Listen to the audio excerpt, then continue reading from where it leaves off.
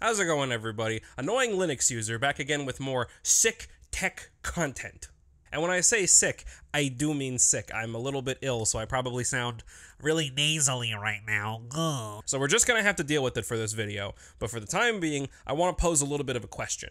So in case you're living under a rock like myself, uh, you might have heard that uh, Windows is adding yet more garbage into their operating system just to make the experience that much worse forcing trackers on by default, forcing you to make a Microsoft account just to use the operating system, adding an AI-powered Copilot feature to every ARM-based installation of Windows, having said AI take pictures and screenshots of every single thing that you do and not blurring out sensitive banking and personal information, and ads, ads, ads, and more ads into your system. It Windows is so invasive that uh, genuinely I think it should be illegal.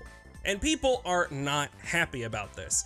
Every single week, I see a new headline of some sort complaining about the latest addition that Microsoft has added to their proprietary operating system. So with all of this information out there, that kind of put a little question in my head. What happens when Windows 10 goes end of life? What happens when Microsoft stops supporting it? What happens when you can't get major security fixes anymore? And you don't have much longer to think about that. I'm reading online that it'll go end of life uh, October of 2025. So roughly a year and a half. And for the past few years, I've been genuinely interested in the wider adoption of Linux as a desktop operating system. If you're familiar with it, the whole meme of like, oh, it's finally the year of the Linux desktop. It's finally, go oh, guys, it's finally time. People are gonna start using Linux and taking it seriously. So what happens when people are basically forced to take Linux seriously? You know, recently Linux has surpassed the 4% uh, mark on the global desktop operating system market share.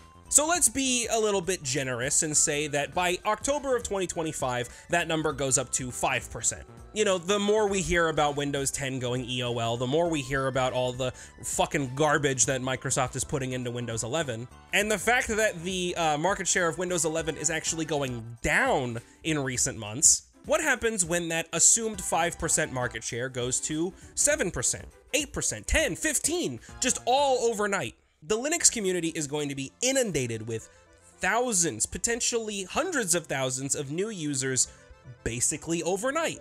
And I worry that the community is definitely going to have growing pains. Already we're having a lot of growing pains. I mean, I myself am relatively new to the Linux community. I've only been using it as my daily operating system for about three years now. And I still run into problems, and I still run into interesting things. Though that's probably due to my choice of an Arch-based distribution, but, you know, that's besides the point.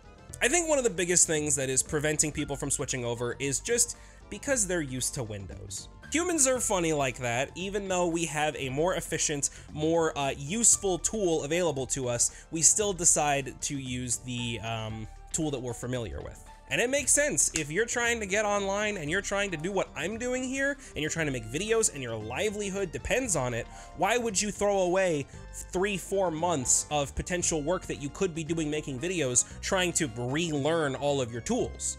It doesn't really make much sense in terms of the business of content creation. And that's just content creation. We have to take into account all manner of professions that are done mainly on a computer. Because I'm sure everyone is aware that you will have to relearn some things when you're trying to use Linux. And that is going to take time. Time that you probably don't have.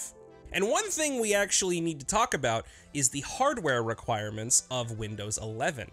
See, it's not really talked about much anymore considering it's old news, but Windows 11 requires you to have a very specific module on your motherboard called a TPM module, or a Trusted Platform module. I think I said module twice. I think that was redundant, whatever. Now, any modern board in the past, I don't know, five, six years will have this module and will work just fine. I could be getting the dates wrong on that. The TPM thing might actually be like a lot older than I think it is, but you know, whatever. But uh, what do you do about the computers that don't have the TPM module?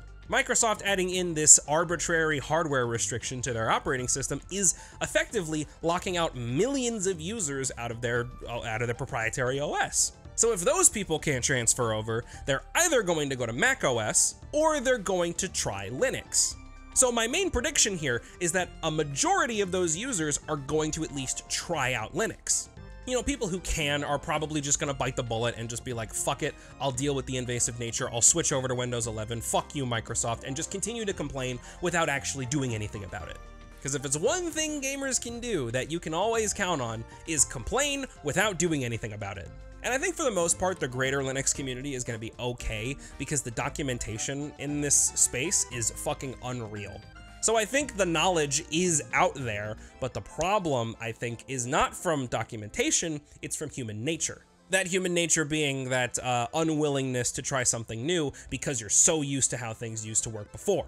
And I don't really have a one size fits all solution to all of this, but I am interested to hear what a lot of you have to think about this because it is a problem that we're going to have to solve as a community going forward. I know for myself, I'm going to put more effort into trying to uh, document my experience on Linux and try to make more like concise, easily digestible uh, guides and walkthroughs on how to do basic things on Linux and how to do video editing. Because I know that there are going to be some independent content creators who really don't want to use Windows 11 or can't use Windows 11. So and when it comes to things like development or general office work, I'm I'm sure all the documentation already exists for all of that. But it's definitely going to be an interesting uh, couple years going forward, seeing as Microsoft is so hellbent on absolutely ruining their operating system. It's it's actually kind of funny.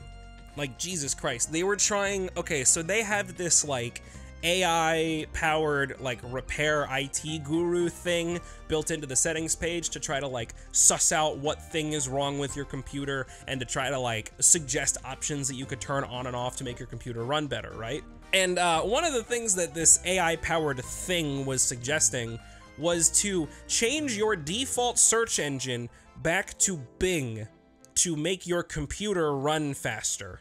You really can't make this shit up, can you? Dude, ads in the file browser? Are you fucking kidding me? Don't even get me fucking started on all the information that Microsoft is pulling off of you. Holy shit. So yeah, I guess that's just kind of my piece for right now. Uh, I am a little bit interested to see how the next couple years are going with the potential mass migration to Linux. And I'm curious to know what other members of this community are trying to do to make this as easy for new people as possible. I may not be able to solve every problem that you might have if you switch over, but the documentation is out there, and I want to be able to point people in the right direction. So if you have any uh, good resources for new users on Linux, let me know so I can just sort of like have a compiled list of a bunch of different stuff that I can just reference in the future. And uh, thank you for watching. I know that this video is kind of nothing, I guess. It's just more of like an open discussion kind of thing, but it's still something that I've been thinking about for a while, and I just want to like get out there now while it's still fresh in my mind. So thank you for watching. Uh, thank you to the YouTube lads for helping me out directly. If you want to do that, there's a button down there that can do it, and then there's the all the other YouTube YouTuber garbage that's down there. I'm not gonna harp on you about it. Okay, have a good one, everybody.